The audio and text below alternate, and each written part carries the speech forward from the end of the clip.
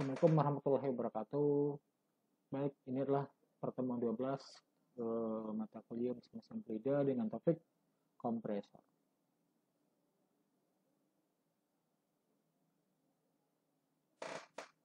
Kompresor adalah suatu mesin atau alat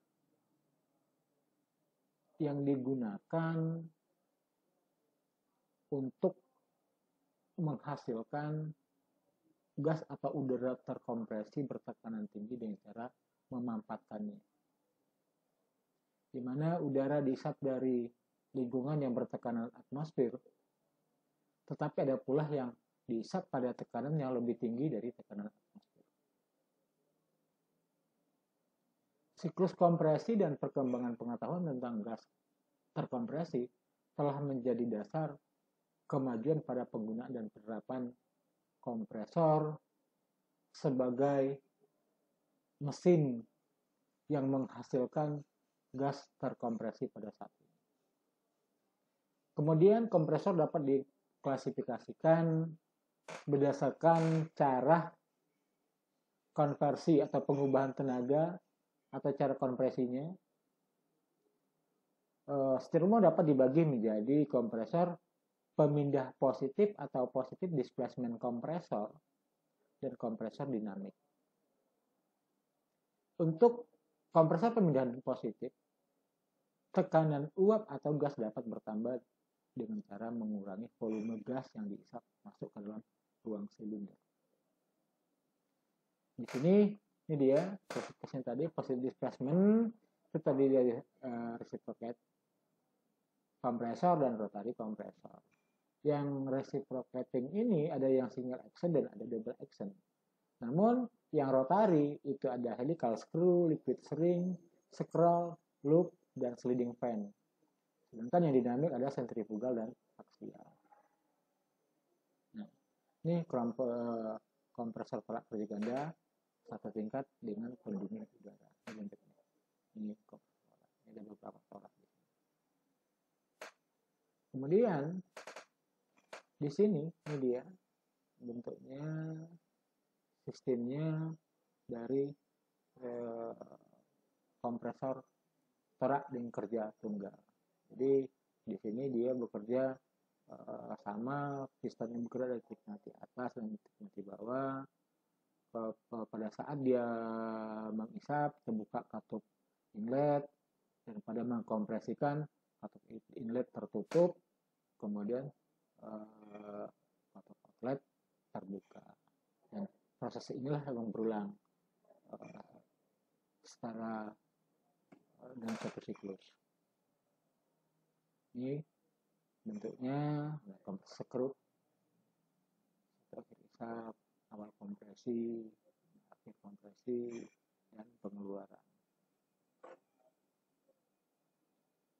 Ini rotary fan ini awal isap seperti ini ini akhir isap ini akhir pengeluaran dan ini akhir kompresi nah, saat dia ngisap ya, pada basket ngisap lubang masuknya tertutup. Ini udah katup jadi membuka dan menutup katup ini diaturlah oleh rotor yang di tengah ini. Ini yang bentuk kompresor sentrifugal ini udara masuk ini impellernya nah ini di pusher ini gambar samping terpotong itu samping. Ini ada rotornya. Ini stator ini assembly ini adalah bentuk daripada aksial kalau kompas sentrifugal mirip dengan uh, pompa sentrifugal. Tapi bentuk seluruhnya aja yang membedakan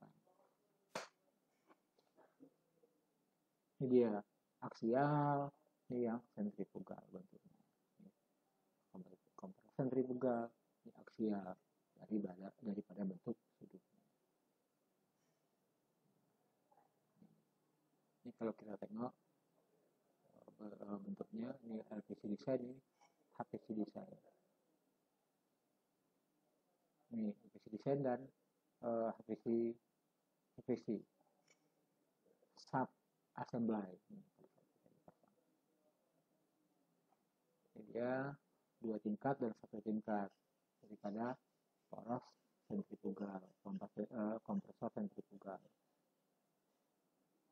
ini eh, bentuk dari kompresor sentrifugal pada saat terpotong. Ini, sudunya. Ini dalam bentuk sudunya. Ini gambar terpotong.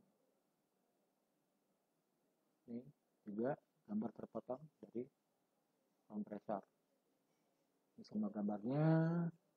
Terus kita lanjut. Ini ada bagian-bagiannya ada impellernya intermediate spacer ada lock nut ada seal ada bearing journal di sini. Kemudian ada taper and off coupling di sini. Nah ini uh, impeller dan diffuser kompresor sentrifugal udah udara dan gas dari impeller masuk ke diffuser ini, adalah rodnya ini A ini yang membedakan antara single section dengan double section. Single section stepnya cuma satu double double section stepnya ada dua. Kita lanjut. Untuk kompresor dinamik gas yang dihisap masuk dipercepat alirannya oleh sebuah impeller kemudian energi kinetik tersebut diubah menjadi energi potensial untuk menaikkan tekanan Pembagian lain kompresor dapat berdasarkan tekanan yang dihasilkan. Konstruksi kompresor, posisi poros, yang secara singkat dapat ditulis sebagai berikut. Kemudian penggolongan berdasarkan cara kompresi. Kom kompresor perpindahan positif, itu ada kompresor torak yang kita bilang tadi. Nah, dengan pendingin udara, air, tingkat tunggal dengan atau tanpa pendingin udara intercooler. Integral gas engine driven karet gas engine driver. Kemudian kompresor putar atau rotary kompresor dengan dua tiga loop screw atau screw fan. Kemudian kompresor dinamik, sentrifugal, aliran radial dan aliran campuran. Kemudian ada kompresor axial seperti gambar di atas. Nah, penggolongan menurut poros ada kompresor vertikal dan ada kompresor horizontal. Penggolongan menurut konstruksi sama ada jenis terbuka motor listrik dipasang terpisah dari kompresornya. Kemudian jenis semi hermatik motor listrik dibuat menjadi satu rumah dengan kompresor. Jenis hermatik hampir sama dengan semi hermatik. Hanya penyambungan rumah kompresor dengan starter motor dilakukan dengan pengelasan, saja bedanya. Pembagian lain berdasarkan tekanan masuk atau keluar. Perbandingan tekanan keluar terhadap tekanan masuk disebut dengan perbandingan kompresi. Hal ini dibedakan dengan perbandingan kompresi yang digunakan dalam perancangan mesin pembakar dalam atau internal combustion engine. Parameter ini menyatakan perbandingan antara volume total silinder termasuk volume sisa atau clearance volume terhadap volume sisa saja. Dinamakan dengan perbandingan kompresi. Nah, mesin yang beroperasi dengan tekanan gas masuk di bawah tekanan atmosfer dan dikompresikan menjadi tekanan atmosfer atau lebih disebut dengan pompa vakum. Dan pada mesin yang berseduh banyak, biasa kita sebut dengan exhauster. Kemudian mesin tipe jet dengan kondisi yang sama disebut dengan ejector.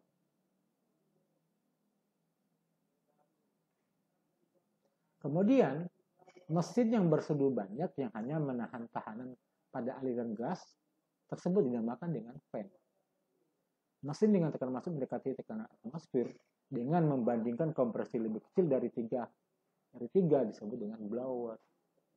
Mesin yang bertekanan akhir 3 ATM hingga 500 ATM disebut dengan kompresor. Jadi membedakan antara kompresor fan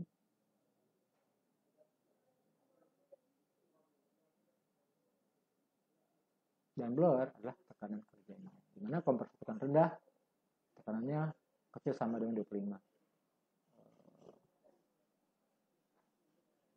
ATG. Kompresor bertekanan 25 kecil sama dengan P.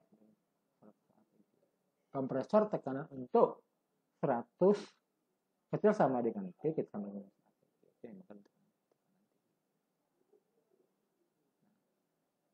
Kompresor atau dan rotari atau putar kompresor atau kompresor bolak balik menggunakan piston sedemikian rupa sehingga gerakan putar penggerak mula diubah menjadi gerak bolak balik atau gerak translasi. Sedang kompresi kompresor putar adalah sebuah rotor yang berputar dalam stator dalam bentuk silindris. Nah, kemudian apa keunggulan dan kelemahan masing-masing jenis itu? Nah, sentrifugal keunggulannya adalah daerah operasi luas, pemeliharaan mudah dan keadilan tinggi. Kelemahannya adalah kurang stabil pada kapasitas. Efisiensi tidak. Sedangkan tipe aksial kompresor ini adalah efisiensi tinggi, kecepatan dapat tinggi. Kecepatan dapat tinggi, kapasitas lebih besar pada ukuran yang. Kemudian kelemahan daripada sentrifugal kurang stabil pada kapasitas rendah, efisiensi tidak begitu tinggi. Sedangkan aksial kelemahannya adalah perubahan tekanan pada tingkat tiap tingkat kecil daerah pemakaian sempit sudu mahal dan ringkih. Kemudian eh, apalagi keunggulan daripada positif displacement dan ejector. Keunggulannya perbandingan PD dan PS tidak dipengaruhi oleh sifat-sifat gas. Efisien tinggi pada NS rendah. Kelemahannya apa? Kapasitas terbatas dan perbandingan berat eh, kapasitas tinggi. Ejector apa keunggulannya? bentuknya sederhana, tidak mahal, tidak ada bagian yang bergerak, efisiensi rendah itu kelemahannya. Memerlukan sumber bertekanan tinggi.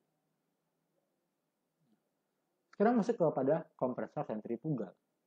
Bagian dari kompresor sentrifugal secara mendasar dikategorikan sebagai satu yang bagian diam dinamakan stationary part, sedangkan yang berputar dinamakan dengan rotating part.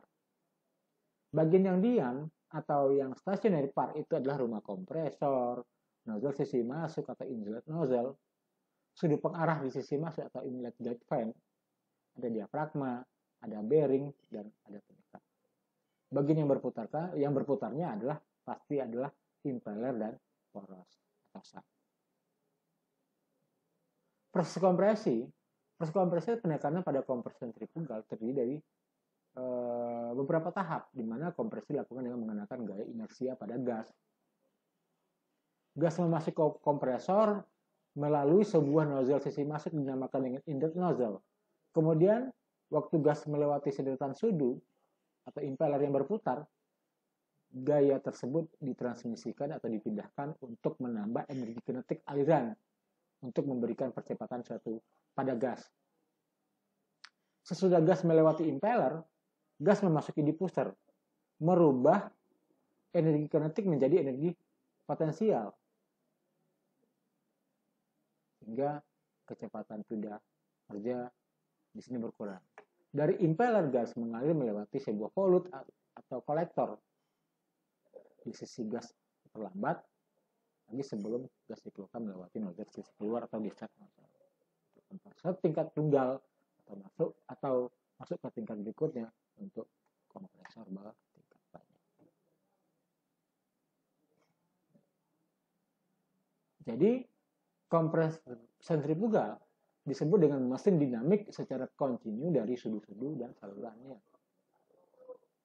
Bila dilihat dari jenis kompresor berdasarkan klasifikasinya oleh JSMA, maka termasuk kompresor dinamik adalah turbo type atau tipe turbo. Di mana jenis ini dibagi lagi menjadi dua. Sentrifugal seperti turbo, radial, sudu banyak, dan multi blade atau multi sudu. Kemudian ada aliran aksial atau axial flow. Perubahan energi terjadi dalam impeller dan di pusat. Saat fluida melalui impeller dengan tekanan P dan kecepatan V naik pada waktu melewati diffuser.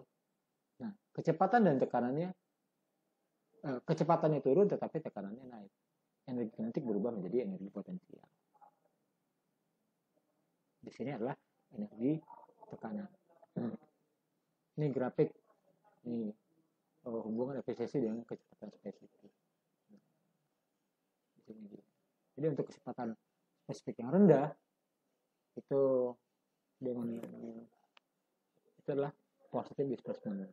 Untuk uh, kecepatan spesifik uh, sedang atau menengah adalah uh, sentrifugal untuk dengan NS yang lebih besar itulah aksial. Ini pengaruh kecepatan spesifik pada mesin pompa. Karakter kompresor positif mana? Debit alirannya konstan, tekanannya bervariasi. Kalau sentrifugal, tekanannya konstan, debit alirannya bervariasi. Ini grafik hubungan dengan uh, laju kapasitas Karena pengaruh putaran dan impel dari impeller, lintasan tidak kerja pada waktu melewati di pusat bentuknya spiral. Dengan demikian sebelum masuk impeller pada tingkat berikutnya. Aliran harus diarahkan oleh saluran balik atau return channel fan. Kompresor aksial, elemen pentingnya adalah ada nozzle sisi masuk atau inlet nozzle, sudut pengarah atau prewheel, fan, sudut putar rotating fan, sudut tap starter, fan, sudut fan bebas kata, the wheel fan, dan keluar discharge nozzle. Nozzle sisi masuk berfungsi untuk mengarahkan dan mempercepat aliran gas ke dalam sudut pengarah. Dari sudut pengarah, gas akan masuk ke sudut putar yang akan menambahkan energi ke dalam gas. Sudut tetap itu sebagai diffuser dan pembelok arah aliran ke deretan sudut penggerak, eh, sudut gerak pada tingkat berikutnya. Beberapa dari pertama dari sudut tetap dapat kita atur untuk menggunakan mesin di luar kondisi rancangan, sedangkan sebagian besar sudut tetap adalah akses sudut tetap di tingkat terakhir sebagai sudut Bagian-bagian utama aksial, kompresor aksial. Kompresor, nah, sisi masuk, sudut pengarah, diafragma, disarvolut, penyeimbang gaya dorong atau teras, dan bantalan. Rumah kompresor casing merupakan bagian paling besar dan berjenis kompresor. Dapat dilihat dalam bentuk rumahnya. Yang merupakan tempat kedudukan dari bagian-bagian kompresor seperti sudut pengarah, diafragma, dan sebagainya. Di mana rumah kompresor ini terbuat dari steel atau baja untuk melayani gas. Yang tekanan lebih dari 14 bar sampai e, 200 PSIG. Temperatur lebih tinggi ya, 205 Celsius, lebih dari 205 atau 400 Fahrenheit. Beracun atau toksik mudah terbakar atau flame, flammable. Cara membuat rumah kompresor dapat secara tuang, cetak, gas yang dibuat. Cor jika mesin dengan sambung las atau fabricate by welding. Nah, rumah kompresor dibuat dengan cara penjelasan memiliki beberapa keunggulan yang terlain. Problem-problem yang dijumpai dalam pengecoran benda dengan ukuran seperti porositas, letak penyusutan. Biasanya jadi pembuatan dapat dilaksanakan dengan baik. Kemudian, karena tidak diperlukan pola cetakan, maka dapat dibuat bentuk khusus seperti ini kontrol kualitas dapat lebih baik. Pengelasan dapat diperiksa saja magnetis. Pembuatan kompresor dengan cara pengendali dapat melayani gas bersuhu rendah dan gas korosif sebuah contoh untuk pembuatannya. Nah, langkah pertama pembuatan bagian utama kompresor terdiri dari tiga elemen. Elemen tengah dibuat dengan plat baja. Piring penutup kiri dan kanan dibuat eh, disambung dengan las. Langkah kedua, pemotongan searah tubuh mendatar di bagian utama. Langkah satu, dua bagian sama besar kemudian flank penguat dengan sambungan Nah, ketiga, bagian yang membentuk saluran masuk keluar dan nozzle disambung las pada bagian selangkah dua. Dalam pemilihan bahan rumah kompresor termasuk bagian panas yang dibutuhkan harus sesuai dengan penggunaan. Ini dia. Satu, langkah dua, langkah tiga. Untuk pengertian daripada rumahnya casing. Nozzle sisi masuk fungsional untuk mempercepat aliran fluida dari inlet flank ke mata impeller atau impeller ice. Berikut dari macam-macam bentuk nozzle dapat dikelompokkan menjadi dua. Yang pertama adalah axial inlet atau saluran masuk aksial. Bentuk saluran miring, tapered dengan gradien semakin kecil ke arah mata impeller. Kemudian saluran masuk volute atau volute inlet digunakan untuk kompresor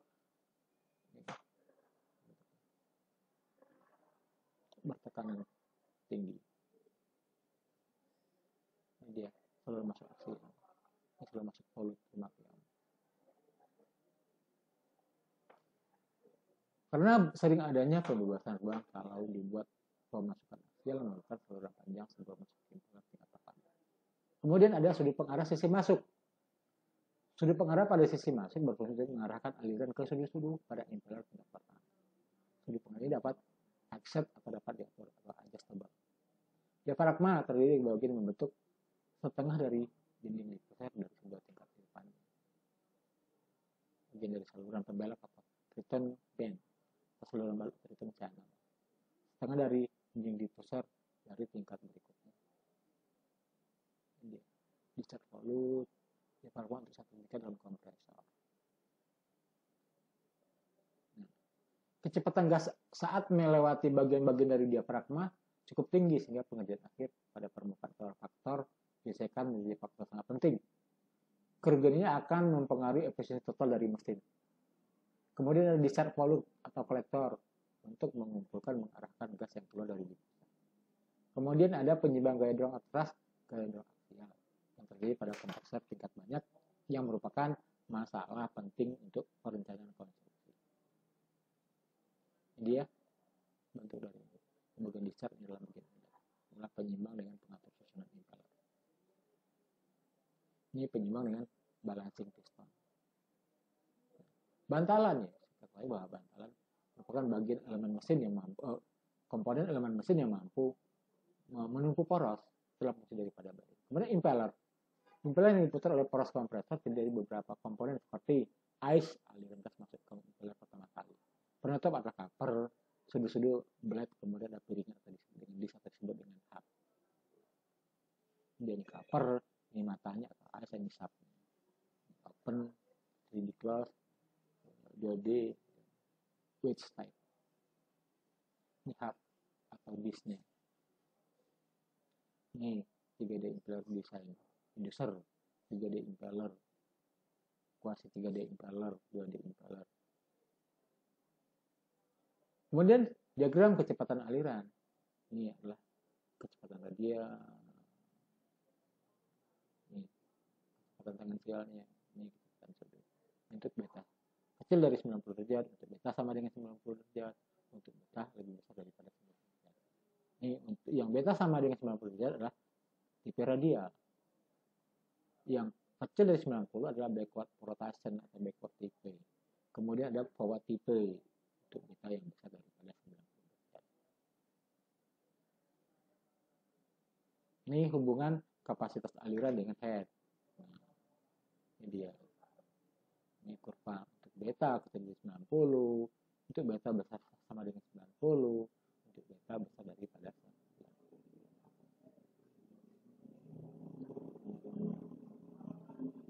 jadi eh, mahasiswa sekalian cukup di sini eh, sekilas kita eh, membahas tentang eh, kompresor.